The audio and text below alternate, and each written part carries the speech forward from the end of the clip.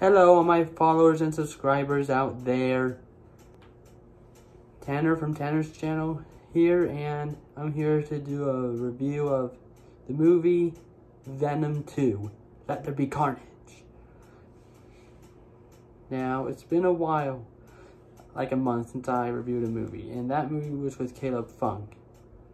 And I saw this movie too with Caleb Funk, but I've been a little busy having fun with him, so I saw the movie two days ago. And how are you guys all doing? And I'm doing very well. In two weeks, we, I officially begin Man of No Importance performing it at the Performing Arts Center where MCC is, but this is my last week of rehearsing it in the music building out on campus, but then next week we're going to be doing it at the PAC.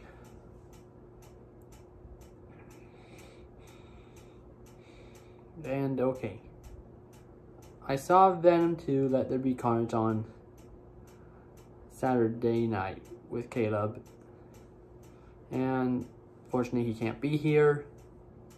So sorry, it's just me. Yeah. I was excited for a sequel. I mean, I liked the first Venom movie. I know some people were saying it's okay, it's scary. I mean, yeah, it was a scary movie, but I'm to say the sequel was twice as scarier. Someone's here, you can hear the chime. So. Because the villain was played by Woody Harrelson.